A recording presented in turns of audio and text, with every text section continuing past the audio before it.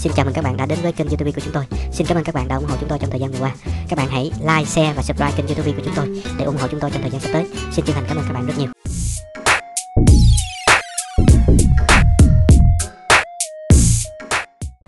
Rồi, à, xin chào các bạn. Hôm nay tôi sẽ à, hướng dẫn các bạn cái phần là các cái góc độ của giao tiện. À, thì để à, minh họa cho dễ hiểu thì tôi sẽ sử dụng phần mềm à, SolidWorks. À, tôi sẽ vẽ cái con dao 3D ra luôn. Rồi sau đó tôi sẽ à, phân tích các cái góc độ trên cái à, hình vẽ đó. Đây tôi dùng phần mềm SolidWorks nè. Tôi vô new nè. À, tôi mở một cái bản vẽ mới lên nè. Ok nè. Rồi. À, nó mở lên đây tôi sẽ vẽ một con dao tiện nha các bạn các bạn vô sketch nè đó, Rich sketch nè vô à, phân lên nè ha chọn cái mặt phẳng trước nè tôi sẽ vẽ một con dao tiện có uh, bề rộng và chiều cao là 10 đây chiều cao nè tôi ghi kích thước nè 10 nè. Enter nè thấy chưa? Rồi bề rộng nè là 10 luôn nè. Đó tại sao tôi chọn 10 vì con dao có uh, kích thước 10 10 này á à, là được sản xuất tương đối nhiều. À, thường là người ta làm dao thép gió đó à, kích thước 10 10 này. À, tiện rất là nhiều. Sau đó tôi finish nè đó xong tôi ép chút nó lên nè. Ép chút nó một ra một cái chiều dài ha. Chiều dài cái này á, thường mấy mấy bạn mua mua thì à, cái chiều dài nó khoảng là 200 ha 200 đó tức là khoảng một gang tay mình đó. Nhưng mà tôi chỉ vẽ khoảng là 70 thôi ha hoặc là 60 thôi. Tại vì vẽ 200 nó dài mình quay lưu quay tới nó khó tôi chỉ vẽ đoạn này thôi. Ok nè. Rồi. Bây giờ ngon lành chưa? Đó đây là cái cái thanh ha. Thanh này là dao thép gió mình mới mua về ha nó kiểu vậy. Thấy chưa? Bây giờ á đầu tiên mình sẽ mài nè. À, mài thì à, để mài được á tôi phân tích cho các bạn nha. Để mài các cái góc độ để thay ra thành cái đầu dao á. Nha.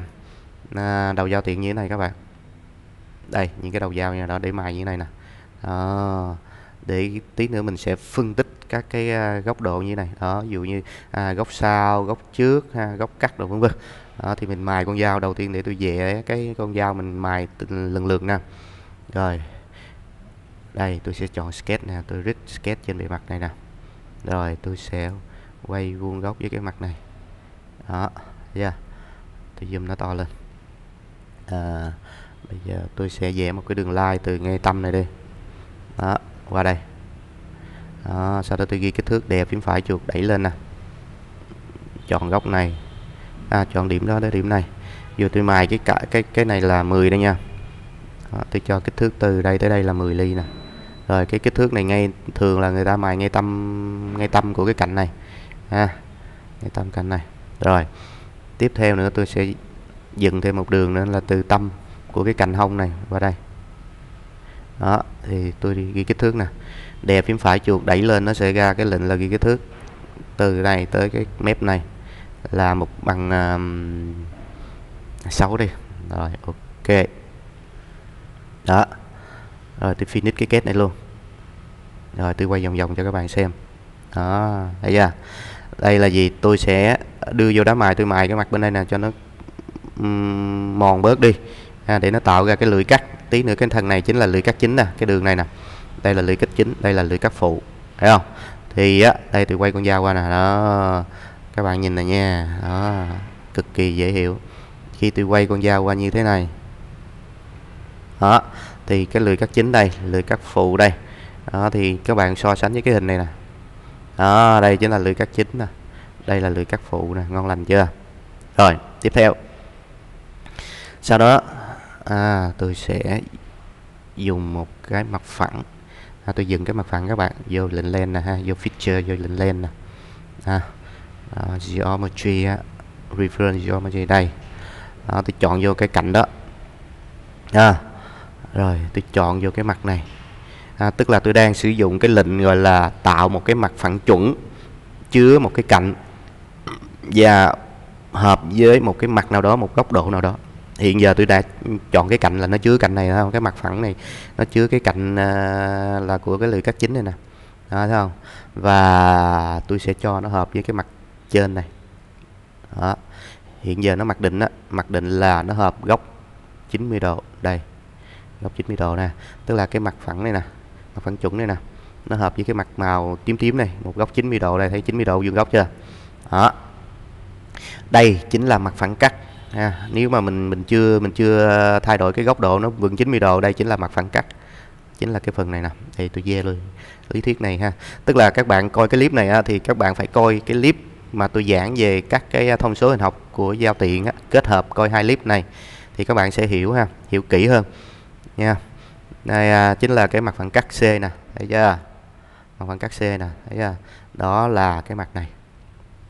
Thì à, những cái à, tài liệu này ha tôi sẽ để dưới cái đường link các bạn sẽ đao dưới đường link nha. Cả cái file à, PowerPoint này luôn tôi sẽ cho các bạn nằm ở dưới đường link các bạn à, à click vô đường link đó các bạn đao các tài liệu này về để coi chính là mặt phẳng cắt C này nha là mặt này. Đó. Thì uh, bây giờ mình sẽ đi mài á nếu mà mình mài con dao này đúng với mặt cặn cắt C này nè thì mình cắt không được lý do là gì? Nó sẽ cạ vô chi tiết mình ha mình cắt không có bén không có được ha. Tại vì chi tiết mình nè mình coi nè đây và cái lúc mình cắt chi tiết nè. Thì khi mình cắt chi tiết nó nó quay như vậy đúng không? Thì nếu mà mình không có mài nghiêng vô nữa mình cứ để mài thì mài thẳng vô mặt cắt C này thì nó đưa vô thì nó cắt được một tí thôi nó sẽ bị cạ vô là cắt không có được và không có bén. Cho nên là gì mình sẽ muốn cắt bén là mình sẽ cho cái mặt phẳng này nè. À, nó sẽ nghiêng à, nghiêng vô phía trong này nè. Đó mấy thấy không? Bây giờ hiện giờ nó không nghiêng là cái, cái đường này nè. Đó gọi là cái giao tuyến này nè. À, giao tuyến giữa cái mặt bên hông của cái à, dao mình nè của cái thân dao mình nè và cái mặt phẳng cắt nè. Đó là nó thẳng với cái à, đường này. Thấy không? Hai đường này song song nhau. Bây giờ tôi sẽ bẻ nó nghiêng vô nha. Là bởi nghiêng vô thì tôi sẽ tăng cái góc này lên. Nó nó, nó góc này góc từ uh, mặt phẳng uh, trên này nè cho đến mặt này 90 độ tôi sẽ tăng nó lên hơn 90 độ nè. Tôi bấm vô đây. Bấm chọn vô cái ô này nè. Rồi các bạn xem tôi tăng lên là đó cho nó nghiêng vô. Tức là tôi sẽ mài ha mài nghiêng vô. Thấy chưa? Mài nghiêng vô nghiêng vô nghiêng vô. Đó. Các bạn muốn nghiêng bao nhiêu độ? À, thì tùy. Ở đây tôi sẽ nghiêng 10 độ đi nó thành lên là 100 độ. Rồi tôi quay vòng vòng cho các bạn xem. Thấy chưa? Tuyệt vời chưa? Tuyệt vời chưa ngon lành ha? Đây. Zoom to lên đó. Như vậy á thì cái lưỡi cắt chính đây nè cái lưỡi cắt chính là cái đường màu hồng hồng này nè đó nó sẽ bén hơn và nó khi mình à, cắt vô nó không có bị cà ở mặt dưới này. Ha. Rồi chính bây giờ hiện giờ cái mặt này chính là cái mặt sau chính đó ha. và cái góc hợp giữa đây nha các bạn cái góc hợp giữa cái mặt này nè với cái mặt phẳng cắt mặt phẳng cắt là cái mặt hồi nãy nó vuông góc với mặt này 90 độ đó mình đã quay qua 10 độ đó. Hiện giờ cái góc alpha của mình là 10 độ đó đây góc alpha này nè. Bây giờ các bạn hình dung giờ đứng đây nè mặt phẳng cắt á, là đối với cái hình này mặt phẳng cắt là nó đã suy biến thành cái đường này luôn nè. Thấy giờ nó suy biến thành một đường thẳng. Và cái à, mặt phẳng sau chính đó là cái, cái mặt này nè. Đó góc alpha mình hiện giờ là 10 độ ứng với cái hình tôi đang vẽ đây. Đó thấy hay chưa? Rồi tôi tạo cái mặt phẳng này. Đó thấy chưa? Tiếp theo. À, bây giờ là tôi mới dựng cái mặt phẳng thôi tí nữa tôi sẽ dùng các cái công cụ ha. À, cắt mặt phẳng cắt bằng mặt phẳng tôi cắt tôi dục cái phần phía bên đây đi ha. À, bây giờ tôi sẽ sử dụng cái à, chế độ là cắt ha đối tượng bằng cái một cái mặt phẳng nào đó để tôi cắt tôi bỏ thằng phía bên tay trái này đi phía bên trái của cái mặt phẳng à, chuẩn tôi vừa mới tạo ra đây. Thì để làm được điều đó mình sẽ bật cái thanh công cụ à, cái thẻ công cụ là surface lên. Muốn bật thẻ công cụ mình sẽ đưa con chó mình lên đây bấm phím phải vô cái tab vô cái surface nè. Đây đó nó mở cái tab à, cái thẻ surface lên. Ở trong cái thẻ surface này nó có cái lệnh gọi là kết with surface nè nha. Bạn chọn vô đây. Đó rồi các bạn chọn cái mặt làm con dao cắt. Thấy chưa? Mũi tên nó chỉ bên đây á là nó sẽ cắt bỏ về phía bên đây. Là nó dục cái phần thân này đi. À, không đúng ý mình mình bấm vô đây. Đảo chiều. Ok. Đó. Rồi xong. Đây quay vòng vòng cho các bạn xem. Đó thấy chưa? Đó mình mài như thế này đó mài lệm nó vô như thế này. Ngon lành chưa? Ok quá rồi rồi để cái mặt len một này nè ha mình để vậy thì mình thấy nó rườm rà quá. Mình sẽ chọn vô len một nè mình cho nó ẩn đi hai nè. Đó ngon lành. Yeah. tiếp theo cũng tương tự vậy tôi làm cho lưỡi cắt phụ nè. À, lưỡi cắt phụ tôi qua thẻ feature nè các bạn. Nha qua feature. Vô uh, reference geometry vô plan tức là tôi phải dựng cái mặt phẳng. À, chuẩn. Đây chứa cái cạnh này. À, quay qua quay qua phía bên này cho các bạn dễ thấy chưa? Yeah. đó yeah. đây này rồi. Và tôi cũng phải nghiêng một góc vô như vậy ha. À, chứa mặt phẳng chuẩn nè. Nếu mà tôi mới chọn có một cạnh này không á ha, tôi mới chọn cái à, cái cạnh này không á thì nó sẽ à, hiểu mặc định là nó chứa cái mặt phẳng chuẩn đây nè nó chứa cái cạnh này. À, và à, nó vuông góc với một cái à, mặt nào đó. Ha. Thì hiện giờ nó đang vuông góc với cái mặt nào đây? Bây giờ tôi muốn uh, tí nữa tôi muốn tạo nó hợp với cái mặt này một góc bao nhiêu độ thì tôi sẽ lít chọn thêm cái tùy chọn này nữa. À, thêm cái chuẩn này nữa. Cái mặt phẳng tôi vừa mới tạo ra nó sẽ hợp 100 độ. Nha mình bấm vô cái nút uh, angle nè nút chữ A nè các bạn thấy không? Add angle á. Hiện giờ mình nghiêng ra như vậy là không đúng không con dao mình mà nó nghiêng ra như vậy thì mình sẽ cắt không được ha nó đụng vô phôi. Mình sẽ nghiêng hướng ngược lại. À nghiêng hướng ngược lại thì có thể là đây mình bấm vô flip offset là nó lật ngược trở lại. Thấy chưa? Đây nó sẽ nghiêng vô nó nghiêng vô hướng trong. À, ví dụ như là à, 10 độ luôn là 100 độ đó thấy chưa? À, có nghĩa là gì? Nó sẽ à, hợp với cái mặt thẳng đứng này nè. Một góc 10 độ về phía trong này. À, tức là cái góc này nè. Cái góc này nè các bạn. Góc từ mặt này qua đây là 100 độ nè ha. hợp giữa mặt trên này nè với lại cái mặt phẳng này nè là đúng 100 độ. Ok thử coi. Đó. Đây là cái bước là mình mới tạo cái mặt phẳng chuẩn thôi nha các bạn. Đây kéo dài ra. Đây. Rồi mình sẽ sử dụng công cụ là cắt bằng mặt phẳng mình cắt dục thằng trước này đi. Đây tôi vô surface nè. Vô à, uh, cut with surface nè chọn vô cái mặt phẳng chuẩn nè. Thấy các bạn thấy nó thông minh không? Thông rất là thông minh. Là mình vừa mới tạo cái ờ, mặt phẳng chuẩn cái mình sử dụng tiếp thì nó phán đoán. À, nó phán đoán là à lấy lên hai nó quá bắt vô đây luôn. Thấy hay không? Rồi mình để cái mũi tên ha. Rút kinh nghiệm đợt một để cái mũi tên nha. Thấy chưa? Bên đây là nó bỏ cái phần này không? Mình đảo chiều lại. Đã rút kinh nghiệm đợt một rồi. Ok. Thấy chưa? Thấy ra con dao mình chưa? Góc độ dao mình chưa? Rồi cái mặt blend hai này mình có thể đưa vô lên hai nè mình bấm phím phải. Ẩn nó đi đó. Đây. Đó là sơ sơ bộ đó cái mũi dao mình này rồi các bạn đứng trên nhìn xuống nè. Các bạn xem tôi đứng trên nhìn xuống nè. Thấy chưa? Uhm, đứng trên nhìn xuống kiểu này nè nó mới ờ.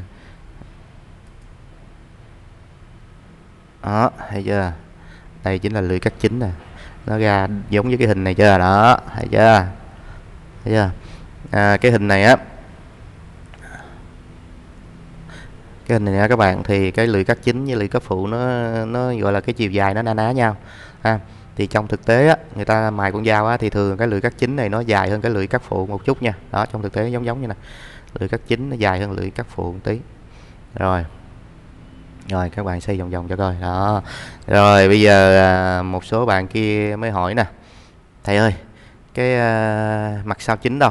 Đó mình học trong uh, lý thuyết nè. Đó, mặt sau chính. Có cái niệm mặt sau chính ha, à, là hoặc là à, góc sau chính. À, rồi góc trước chính đâu vân vân. Thì bây giờ thì tôi mới ờ, giải thích cụ thể cho các bạn xem nè. Mặt sau chính là mặt này nè ha. Mặt này nè. Mặt này á mình cắt đây mình nhìn vô nó suy biến thành một đường thẳng rồi đúng không? Chính là mặt này nè. Đây mặt này chính là mặt sau chính. Nha. À, mặt sau chính đây mặt sau phụ đâu? Mặt sau phụ là mặt phía dưới. À, có nhiều sách người ta viết gọi là mặt sau phụ là mặt mà phía dưới cái lưỡi cắt phụ nè là mặt này nè. Thấy chưa? Để tôi zoom to to lên. Đó nhờ phần mềm 3D vẽ gì các bạn học rất là đây là mặt sau phụ đây các bạn. Thấy chưa? Mặt sau chính đây. Rồi mặt trước đâu? Mặt trước là mặt này nè. Ha. À, hiện giờ tôi đang vẽ con dao của mình á, là ở mặt trước người ta không có mài không có mài tức là mặt trước nó bằng luôn nha. Nhưng mà thực tế để cắt cho bén thì mặt trước này thường người ta sẽ mài nó nghiêng xuống một tí. À, thì tí nữa tôi sẽ à, cắt cho nó nghiêng xuống cho các bạn xem ha. Hiện giờ là tôi đang mài cho nó à, hai cái mặt à, sau chính và mặt sau phụ thôi. Đó. Rồi tiếp tục nè cái chỗ này.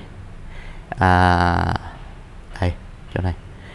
Đó cái góc này nè à, thì tôi đã giải thích rồi đúng không? Là góc hợp giữa cái à, mặt phẳng cắt nè. Thấy à đó. Và mặt sao chính nè. Đó thấy chưa? Góc alpha nè. Rồi góc trước. Góc trước chính. Góc trước chính là cái góc này. Trong trường hợp tôi đang vẽ cái dao như thế này góc trước chính của tôi bằng không ha? Đúng chưa? Nè các bạn nhìn này góc trước chính bằng không. Lý do tại sao nó bằng không? Tại vì cái bề mặt trước này tôi không có mài xiên xuống mài xiên xuống á, nó mới tạo ra kiểu này các bạn. Đây mài xiên xuống.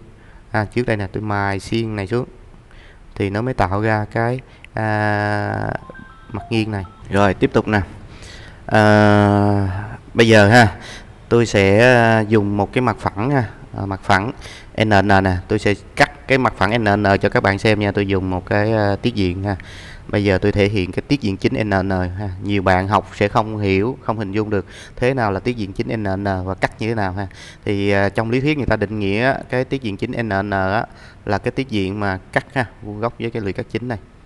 Đó thì tôi sẽ cắt cho các bạn xem nè. Bên hình này. Đây. À, à, rồi tôi sẽ làm như thế này. Tôi sẽ tạo một cái sketch trên đây. Không tôi quay uh, vuông góc vô. Rồi tôi sẽ vẽ một cái đường line zoom bự nó lên. Giờ tôi vẽ qua tâm này nha. Vuông góc này các bạn thấy không? Vuông góc này. Thấy chưa? Đó cái đường line này nó sẽ vuông góc với cái lưỡi cắt chính này.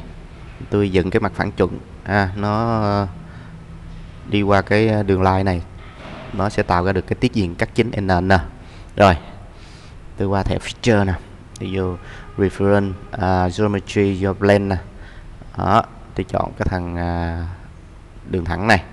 Đó, tôi quay cho các bạn xem quay vòng vòng cho các bạn xem nè. Đó, quá đẹp đúng không? Quá hay luôn. Đó nhờ cái phần mềm này ha. Mình học nó trực tiếp luôn rất là hay đây. À vô chưa còn thêm một cái dữ kiện nữa. Đây và cái góc này là 90 độ nha 90 độ để nó vuông góc. Đó thấy chưa? Cắt vuông góc như này không? Ok. Đó cái mặt len ba này chính là cái uh, mặt tiết diện chính đó NN đó các bạn thấy không? Đây nè mình học lý thuyết nè quay lại lý thuyết nè. Cái tiết diện NN nè cắt vuông góc với lưỡi cắt chính đúng không? Cắt cái bụp đây đứng bên đây nhìn qua. Đó nó ra cái hình màu vàng này. Đây thì tôi cắt cái bụp đây nè à, các cái bụp đây tôi đứng tôi nhìn vô nha. Thì coi nó ra hình gì. Đây tôi dùng cái gọi là section view nè. Cắt. Đứng nhìn vô. À đứng nhìn vô. Ok nè. Đó. Thấy chưa? Cái mặt này. Nha. Để tôi ốp thằng này đi. Đó. đó cái mặt này nè. Chính là cái tiết diện chính ta đó. À.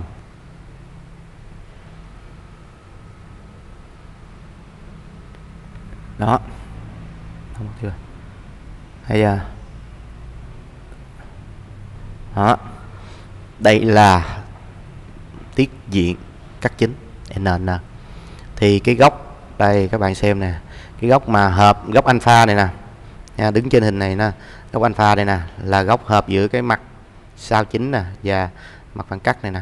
Đây các bạn nhìn vô đây nó chính là góc này nè. Ở đây nha mình kẻ một đường thẳng xuống đó là góc hợp giữa đây. Cái này á, chính là mặt sao chính nó đã suy biến thành đường thẳng này nè. Đây giờ này góc này. Đó. Hình dung chưa?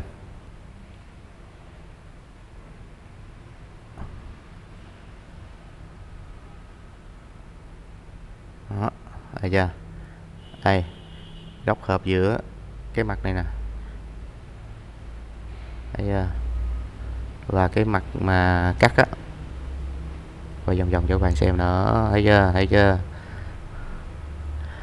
Hiện giờ á rồi có bạn sẽ hỏi là thầy ơi sao nó không giống cái này? À, nó không giống này. Là tùy ha con dao tôi vẽ nó chưa chưa đúng với cái hình này. Tức là cái mặt trước của tôi hiện giờ nó đang còn nằm ngang tôi chưa có mài xuống như thế này. Mài một cái góc độ nghiêng xuống như này. À, thường dao người ta sẽ mài nghiêng. Mài nghiêng như thế này thì nó sẽ tạo ra cái góc này. Hiện giờ á hiện giờ mấy em thấy nè cái góc trước của tôi nó bằng không nè. Đây góc trước này nó bằng không nè. Nhìn góc như coi. Đó. đây là góc alpha này các bạn. Góc hợp giữa cái cành thằng đứng xuống đây là góc này góc alpha nè. Góc gamma góc trước á đáng, nếu mà mình mài cái mũi dao mình nghiêng xuống á thì, thì cái cái mặt này nè nó sẽ nghiêng xuống đây. Đó, thì góc trước là góc hợp giữa cái mặt này với mặt này. Còn hiện giờ tôi chưa có mài cái lưỡi cái mặt trước này cho nên là cái góc này nó bằng không độ nè góc trước bằng không độ nè. Thấy chưa? Rồi góc ờ, uh, beta góc beta đâu? Góc beta là góc này nè. Từ mặt sau chính nè cho đến mặt trước nè. Đó thì trên cái hình tôi đang vẽ là từ góc này nè đến góc này nè. Đó thấy chưa? Đó, mà các bạn có thể xoay nghiêng một tí nè đó thấy chưa? Ra yeah, góc này nè. Đó. Rồi. Uhm, bây giờ tôi à, sẽ mài luôn mặt trước nha. Rồi. À, do cái dao của mình á hiện giờ là chưa có mài cái mặt trước tức là mặt trên đây nè. À, nó xuyên xuống. Cho nên mình cắt ra nó thấy cái uh, tiết diện uh, là góc trước nó bằng không. Bây giờ tôi sẽ à, mài cái mặt trước cho các bạn xem nha. Thì để mài mặt trước uh, các bạn theo dõi tôi làm nha. Tôi sẽ um, dựng một cái mặt phẳng chuẩn. Ha mặt phẳng chuẩn đây tôi vô uh, feature nè. Uh, reference geometry nè vô blend nè đó cái mặt phẳng chuẩn của tôi sẽ chứa cái lưỡi cắt chính nè. Bây giờ chứa lưỡi cắt chính nè. À, các bạn à, lưu ý là tôi đang mong muốn là gì? Tôi mài nó nghiêng xuống như vậy. À, thì tôi sẽ quay cái mặt phẳng chuẩn này. Ví dụ tôi muốn nghiêng nó xuống so với cái mặt trên này nè 10 độ thì tôi sẽ dựng cái mặt phẳng chuẩn chứa cái lưỡi cắt chính và nó quay qua 10 độ. 10 độ thì nó sẽ hợp với mặt dưới này là 80 độ đúng không? Đây tôi chọn thêm mặt này nữa nha. Đó tôi sẽ cho nó quay. Đây tôi bấm vô đây các bạn nhập chỗ này vô là 80 độ ha. 80 độ các bạn thấy này đó nó hơi úp vô nè. Tại sao tôi lại ờ, cho nó xuống ờ, 80 độ để tí nữa cái ý đồ của tôi tí nữa tôi sẽ đứng trên cái mặt này nè. Nha. Tôi đứng trên mặt này tôi vẽ một cái hình chủ nhật. Tôi ép chút cất nó ha thì nó sẽ chạy xuống đây. Tức là tôi sẽ tạ tôi mài cái mặt nghiêng này nghiêng xuống đây. Khi tôi nghiêng tôi mài cái mặt nghiêng này á, mặt trước này nghiêng xuống đây á, thì cái lưỡi trước này nè ha, nó mới bén nó cắt nó mới bén rồi ok 80 độ nha nhập 80 độ vô đây các bạn ok này đi. Thấy chưa? Đó tôi dựng ra được cái mặt phẳng chuẩn. Mặt phẳng chuẩn này là lên 6 nè đúng không? Đó. Ừ, rồi. Tiếp theo sau tôi sẽ đứng trên cái mặt phẳng này tôi vẽ. Đây tôi vô sketch nè vô rich sketch nè. Chọn cái mặt lên 6 này nè. Đó. Sau đó tôi sẽ quay vuông góc với cái mặt lên 6 này để tôi uh, dễ vẽ. Ha, tôi bấm kênh trên số 8 ha, nó sẽ quay vuông góc đó. Kênh trên số 8 là cái lệnh phím tắt thôi nó sẽ quay uh, cái mặt phẳng mình cần vẽ ha, cái mặt vẽ phát sketch đó vuông góc với cái hướng nhìn của mình ha, tức là nó trùng với màn hình mình đó. Rồi tôi sẽ dùng cái lệnh vẽ hình chủ nhật. Đây. Tôi bắt vô cái uh, mút này. Bạn bắt vô mút này. Các bạn vẽ ha vẽ dài ra đây. Vẽ dài đây một tí. Nha. Rồi các bạn sẽ finish à, cái à, dễ dài qua một tí ha. Các bạn không cần cái kích thước cụ thể đâu. Ok nè. Rồi các bạn finish cái kết này đi. Đó tức là tôi dựng được một cái hình chủ nhật nằm trên cái kết này. Các bạn thấy không? Tôi quay vòng vòng cho các bạn xem. Đó thấy chưa? Sau đó tôi sẽ đẩy cái tiết diện này đi. À, ép chút kết nó dọc theo cái này thì nó sẽ cắt cái chi tiết của mình. Đây tôi vào feature nè. Ép chút kết nè. Đó các bạn thấy không? Đây ép chút kết nè. Bây giờ quay vòng vòng cho các bạn xem. Đó. Tôi giảm cái này xuống tí. Các bạn giảm xuống bao nhiêu để cho nó nó vừa nha nó vừa nó nó phải lọt ra ngoài này nó mới cắt hết nha rồi. Ví dụ vậy đi nha. Đây. Rồi các bạn nhìn tôi ok nè. Đó thấy chưa? Đó. Thì con dao thực tế mình, mình sẽ mài nó như vậy đó mấy cái đường mấy cái mặt này tôi sẽ ẩn nó đi cho dễ thấy. Đó đây. Cái mặt trước của mình nó thường như vậy thì cái gì mũi da cái lưỡi dao mình nó mới bén chỗ này ha. Cái lưỡi cắt chính của mình đó là cái mặt này ha, cái lưỡi này. Nó đưa vô mình tiện nè. Không? Con dao tiện mình nó nằm như vậy. Đấy chưa? Mấy cái đường này ha, tôi uh, ẩn nó đi. Đó. Để cho mình đây. Đây chính là à, vết à, vết của cái à, tiết diện cắt chính nè các bạn. Nha. rồi bây giờ tôi à, hồi nãy cái tiết diện cắt chính của mình á là cái len ba này nè. À, mình quay lại cái len ba này đó tiết diện cắt chính mình cắt vuông góc với cái lưỡi cắt chính thấy chưa? Đó, vuông góc với lưỡi cắt chính nè. Đó, thấy chưa? Bây giờ tôi sẽ đây nhìn nha tôi sẽ đứng đây đứng đây tôi nhìn vô nè để xem coi cái à, tiết diện cắt chính mình các cái góc độ nó như thế nào. Đây tôi chọn. Các bạn chọn vô cái lên ba nè. Các bạn phải nhớ là lúc mình vẽ cái tiết diện cắt chính là cái mặt nào thì các bạn sẽ nhớ hoặc nếu các bạn không nhớ thì các bạn sẽ dò thì mình hiểu mình nhìn vô mình sẽ biết. Rồi các bạn bấm vô đây. Đó đây. Rồi các bạn quay vuông góc vô. Đây quay qua vuông góc. Hoặc các bạn bấm kênh trên số 8 để nó để nó tự quay vuông góc vô. Đây đây chính là góc trước gamma. Thấy chưa? Sau khi mà mình đã mài mặt trước rồi thì nó mới xuất hiện cái góc này. Còn hồi nãy mình chưa mài mặt trước á, là cái mặt trước mình nó ngang bằng với cái mặt trên của thân dao cho nên là nó trùng vô này. Cái này chính là mặt trên của con dao nó suy biến nè. Nó suy biến lại thành một đường thẳng nè. Đó.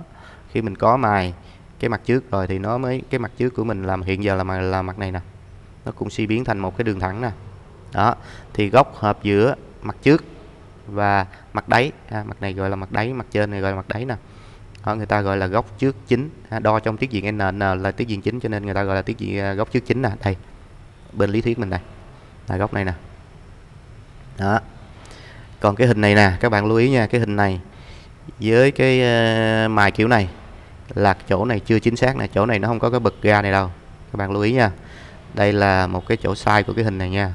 Đó thì chỉ có những bạn nào học theo và à, nhìn cái cách tôi à, giải thích hồi nãy giờ đây. Vẽ đúng là phải như thế này. Đó. Còn cái hình này á là người ta vẽ. Hình này á là muốn ra được hình này á là người ta mài dao nghiêng nghiêng nghiêng không phải nghiêng xuống đây mà nghiêng qua như vậy. À, nó khác chút. À, mình nghiêng từ bên đây qua nè thì nó sẽ cắt ngang đây thì nó sẽ có cái bực chỗ này còn hiện giờ mình đang nghiêng gọi là nghiêng phải nghiêng từ bên trái qua bên phải nè.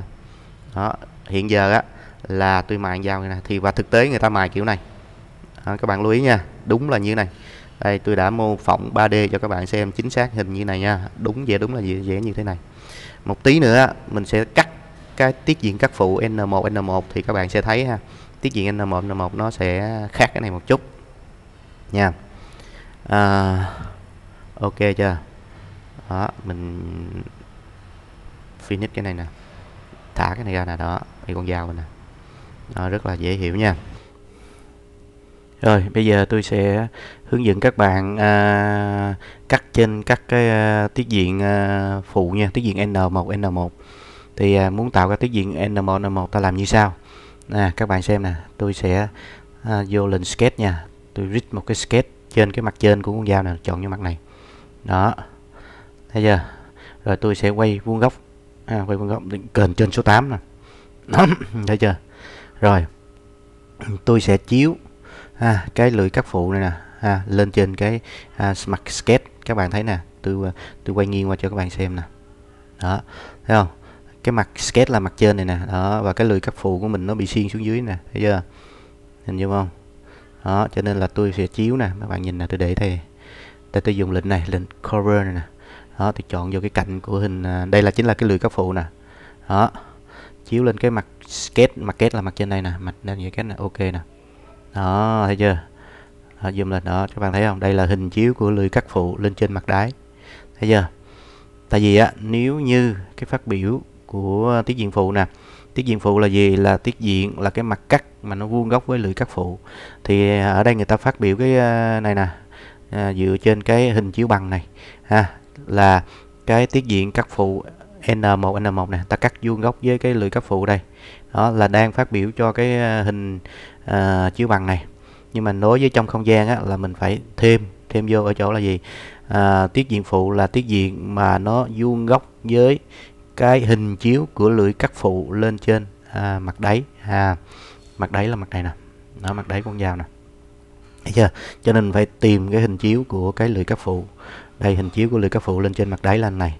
Đó sau đó mình mới à, vẽ à, quay vuông góc nè kênh trên số 8 nè. Mình mới vẽ một cái đường vuông góc đây. Ví dụ đây thì chọn lên line này vẽ đây. Vuông góc với cái cạnh này. Đó. Thấy giờ rồi tôi finish cái kết này đi. Đó các bạn nhìn nè đó. Vậy là gì? Tôi sẽ tạo một cái mặt phẳng chứa cái cạnh này nè nha chứa cạnh này. Cạnh này nó đã vuông góc với cái hình chiếu của lưỡi các phụ nè thấy chưa? Đó, các bạn thấy nè vuông góc với đây là hình chiếu của lưỡi các phụ nè. Đây là cái cạnh mà mình sẽ để tí nữa mình chứa cái mặt phẳng ha chứa cái mặt phẳng mà tiết diện N1 N1 đó. Rồi các bạn xem nha nhìn tôi làm tiếp nha. Đây tôi sẽ à, vô thẻ feature nè. Tôi sẽ tạo một cái mặt phẳng chuẩn nè chứa cái cạnh này và vuông góc với cái mặt trên này nè đó. Thì cái mặt này tạo ra đó ha. Các bạn lưu ý nha vuông góc nha 90 độ nè. Rồi ok nè. Đó. Thì cái bề mặt lên 7 này chính là ha chính là cái tiết diện N1 N1 tiết diện phụ N1 N1 các bạn thấy chưa? Rồi ok chưa? Thấy chưa? À, bây giờ nè để đi uh, mình nhìn vô nè. Đây tôi chọn cái len 7 này nha để tôi kéo nhỏ cái len 7 này xuống tí các bạn. Đó cho các bạn dễ hình dung đó. Bây giờ nếu như tôi dùng cái mặt lên 7 này tôi cắt tôi đứng tôi nhìn vô nè. Đó thấy chưa? Đây chính là cái uh, các cái góc độ ha của con dao khi mình nhìn trên tiết diện N1 N1 đó các bạn. À, thì để rõ hơn nè. Tôi uh, ok nó đi. Rồi tôi tắt nó đi nè. Đó để rõ hơn tôi phân tích tiếp nè à, bây giờ nha tôi sẽ tìm cái giao tuyến giữa cái mặt N1 N1 này nè. À, giao tuyến giữa N1 N1 này với mặt trước nha. Bằng cách là tôi dùng cái à, lệnh này nè lệnh axit nè tôi chọn axit nè. Thấy chưa? Tôi chọn vô mặt len 7 nè cho các bạn.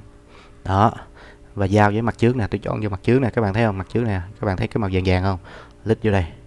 Đó cái đường màu vàng này cái trục màu vàng này chính là cái giao tuyến giữa cái mặt cắt N1 N1 với lại mặt trước. Ok nè. Đó đây nó gọi là axit 1 nè. Ha tôi sẽ đổi tên đó các bạn. Tôi sẽ bấm phím phải vô đây. Ha tôi sẽ kéo xuống dưới. Ha kéo xuống dưới. Bấm xuống đây. Tôi rename ha rename G item nè. Đó cái này tôi gọi là à, giao tuyến giữa um, N1 ha giữa N1 với lại là à, mặt trước MT đó để tí nữa mình dễ à, nhìn vô mình dễ thấy đây ha. Giao tuyến giữa em N1 tức là mặt à, tiết diện phụ đó với lại à, mặt trước nè. À, ở đây là mình phải đi xác định những cái giao tuyến đó để chi tí nữa mình sẽ tìm các cái góc độ nha. Rồi à, tiếp theo là mình sẽ xây dựng cái mặt phẳng đáy mà nó đi qua cái điểm giao tuyến này cái điểm này nè. Đó à, cái điểm mà à, giữa lưỡi cắt phụ nè đó, điểm giao giữa lưỡi cắt phụ và um, cái tiết diện N1 N1 nè ha. À, thì à, mình tìm như sao mình làm như sao tôi sẽ tạo cái mặt phẳng chuẩn nè các bạn tạo mặt phẳng chuẩn nè. Đó mặt phẳng chuẩn của tôi. À khoan kép ra cái này kép ra hết nha chọn blend nè. Đó mặt phẳng chuẩn của tôi nó song song với mặt này nè. Đó tôi chọn mặt trên này nè nha các bạn. Rồi nó đi qua cái điểm điểm này ha. điểm này chính là uh, giao điểm giữa Ờ, uh, lưỡi cắt phụ và mặt phẳng tiết diện phụ N1 N1 đó chọn vô đây. Đó ok. Đây các bạn xem này tôi kéo dài này ra.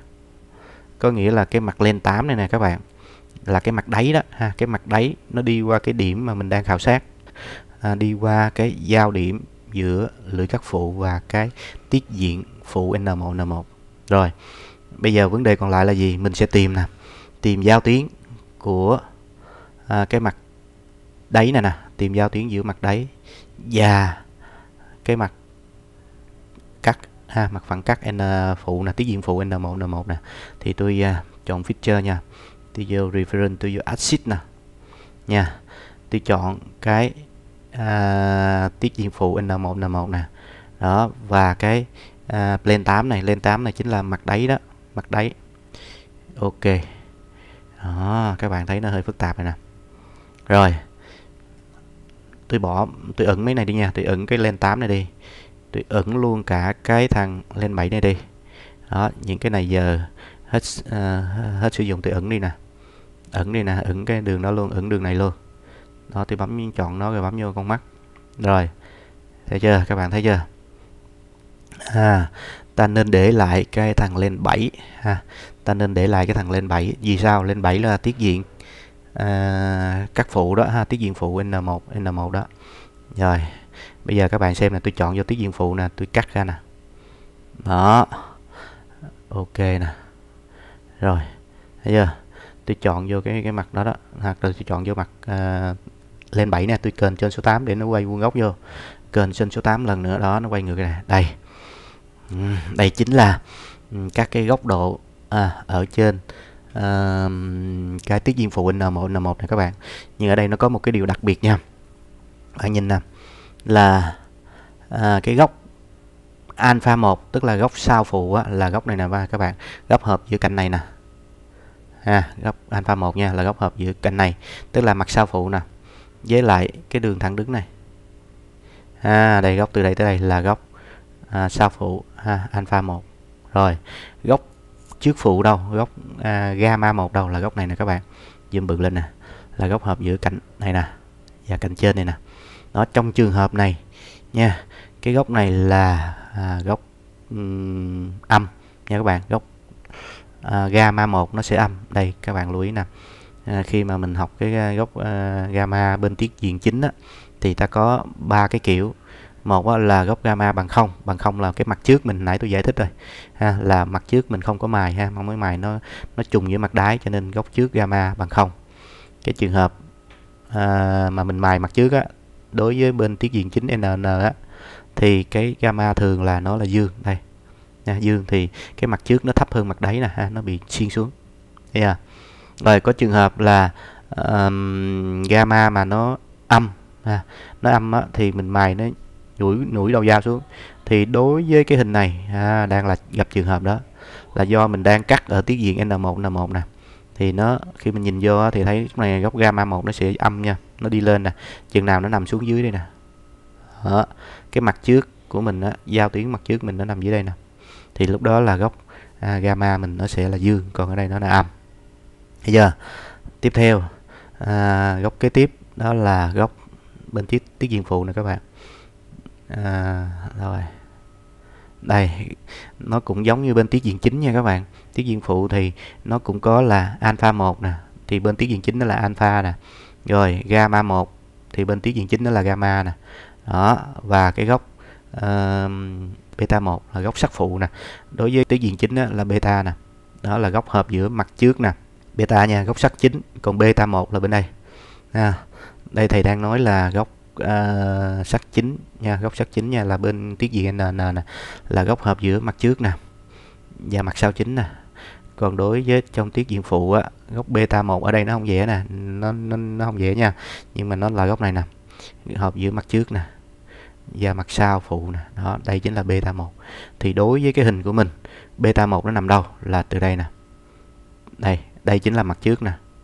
À, đây là cạnh này là mặt trước nè. Nha và đây là mặt sau phụ nè. Đó đây là mặt trước đây mặt sau phụ nè. Đó chính là góc beta 1 từ đây qua đây. À, từ đây qua đây. Đó. Tiếp theo. Uhm, tôi sẽ tắt cái này đi cho các bạn nhìn nè. Đó, các bạn lưu ý nha. Đó. thì trên cái hình ha cái hình mình vẽ trên 3D như này. Ha rồi mình nhìn với lại cái hình người ta vẽ ở đây. Đó, thì có sự khác biệt nha đây là tùy vào à, người ta mài con dao như thế nào mà các góc độ nó có thể khác ha. Như hồi nãy lúc đầu á mình thấy tiết diện chính n n này nè là cái hình này nó chưa đúng nè đúng không? Đó thấy chưa? Đối với cái dao mà mình mài xuyên xuống á đó thì chỗ này nó không có cái cái vát này tại vì à, mấy em coi này nền cắt đây thì nó không có cái bực chỗ này. Đó thì đã phân tích ở lúc đầu clip rồi. Còn đối với À, thằng tiết diện N1 N1 này thì các bạn vừa mới xem đây nha tôi quay lại nè. Chọn cái thằng lên 7 nữa nè cắt nó ra nè. Đó ok nè. Đó các bạn thấy không? Quay vuông góc vô nè kênh trên số 8 nè. Kênh trên số 8 lần nữa nè đó. Đó các bạn thấy không? Tùy vào cái kiểu mình mà giao mà à, có thể nó khác nhau. Thì khi vẽ mấy em chỉ cần vẽ cái phần màu này thôi nè đó cái phần từ đây cái giới hạn bởi cái khung này nè. Đó. Bây giờ còn cái phía sau này khỏi cần vẽ ha. Uhm. rồi rất là rõ ràng nha. À, rồi tôi sẽ ốp thằng này luôn.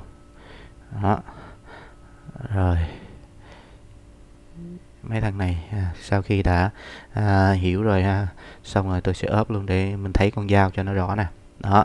Rồi bây giờ con dao của ta đây đây dao tiện của ta mài rất là đẹp này thấy không? Đó.